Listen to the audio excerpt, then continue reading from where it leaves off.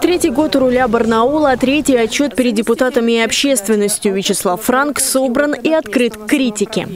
Это очень важно для мэра, это уметь слышать своих горожан, уметь слышать своих сотрудников.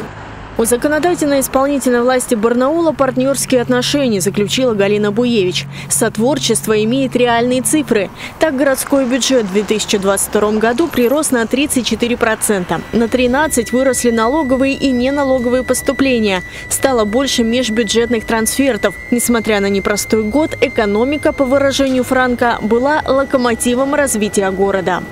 Индекс промышленного производства превысил 2021 год и составил 107,6%. Это выше, чем в целом по стране.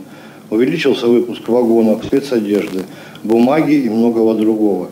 Поддержка правительства Алтайского края и администрации города позволила нам продолжить социальный проект, не потерять, а создавать новые рабочие места и в итоге завершить 2022 год с положительными результатами.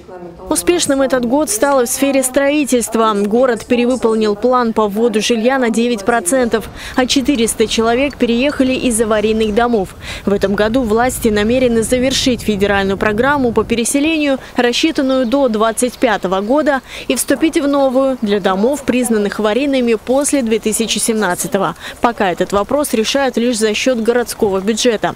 А ремонт и строительство дорог снизили число ДТП в городе на 11%. В городе решена проблема очередности в детских садах. Продолжается строительство детских садов, но в основном в новых микрорайонах.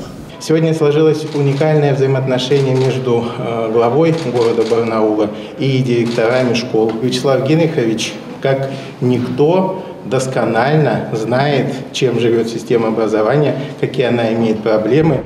Большинство слушателей отмечают положительные сдвиги в развитии города. Архитектор Александр Деринг сказал, что совместная работа над генпланом Барнаула, который теперь будет рассчитан до 2040 года, конструктивна.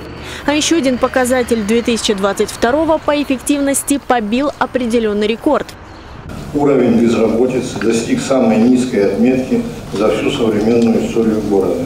Это также минимальный показатель в Сибирском федеральном округе. В конце мэр отметил, что готов к открытому диалогу и что соцсети в этом помогают.